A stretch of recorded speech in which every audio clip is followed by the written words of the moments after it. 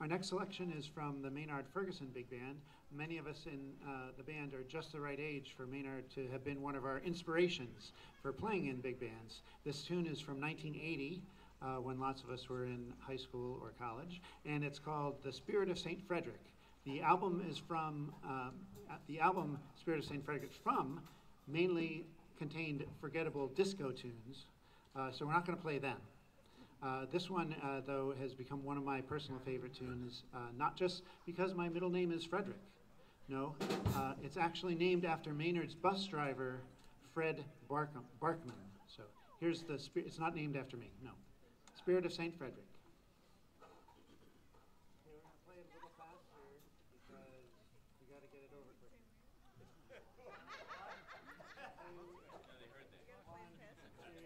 Okay,